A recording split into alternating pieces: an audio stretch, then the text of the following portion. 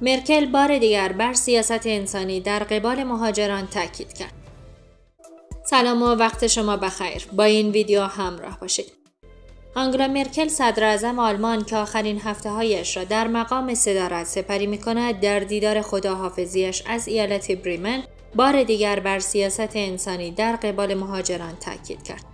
مرکل روز پنجشنبه در آخرین دیدارش از این ایالت در مقام صدر اعظم آلمان توضیح داد که مسئله بر سر افغانهای و سوریایی ها نیست که به آلمان آمدند بلکه مسئله در مورد انسانها در مورد هر فردی است که به آلمان آمدند.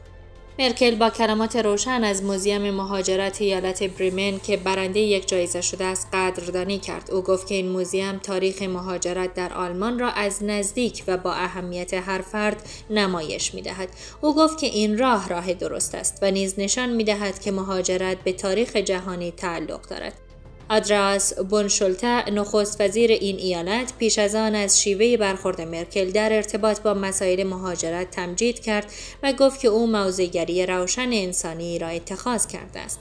موزیم مهاجرت در این شهر در سال 2005 افتتاح شد و مرکل در مبارزات انتخاباتی در سال 2014 از این موزیم دیدار کرده بود و مانند آن زمان این بار نیز نامش را در کتاب مهمانان این موزیم درج کرد. این موزیم به صورت عاطفی و احساسی زندگی نامه مهاجران را برای بینندگان نمایش می دهد و سرنوشت بسیاری از مهاجران را مستندسازی کرده است.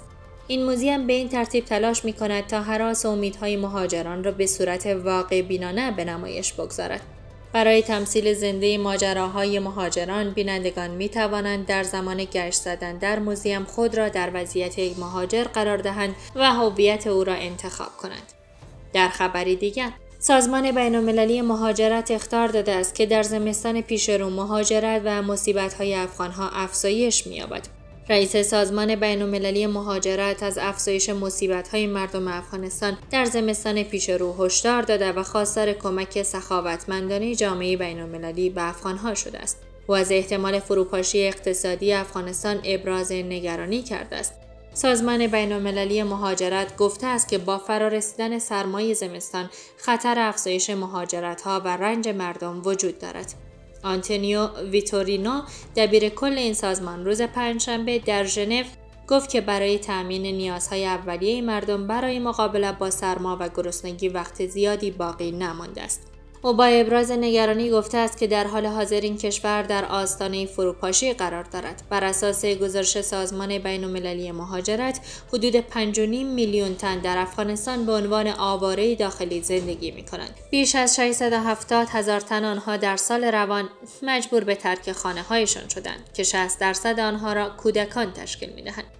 در حالی که شمار زیادی تلاش کردند کشور را ترک کنند در چند ماه گذشته بیش از یک میلیون تن از ایران و پاکستان به افغانستان برگشتند دبیر کل سازمان بین المللی مهاجرت IOM پس از یک سفر دو روزه به افغانستان گفته است بیش از نیم جمعیت این کشور در یافتن مواد لازم غذایی با مشکل مواجه می شوند. به گفته ویتورینو عدم دسترسی به غذای کافی موزل سوی تغذیه به ویژه برای کودکان را به سطح قابل ملاحظه افزایش بخشیده است. بیش از 80 درصد از افغانهایی که توسط این سازمان مورد سوال قرار گرفتند گفتند که معیشت خود را از دست دادند. میلیون ها تن در مکانهای به شدت نامناسب زندگی می کنند بر اساس گمان های سازمان بین المللی مهاجرت حدود 70 درصد از جمعیت افغانستان از پیامدهای وخیم خشکسالی و سیلابها در این کشور متاثر شدند. ویتورینا تاکید کرده است که برای جلوگیری از بروز یک فاجعه انسانی در افغانستان نیاز شدید به توجه و کمک های سخاوتمندانه جامعه جهانی می رود. از اینکه با این ویدیو ما را همراهی کردید سپاس گذاریم. یادتان نرود چاینل ما را لایک کنید، گزینه زنگوله را فشار دهید تا از تازه های ما با خبر شوید.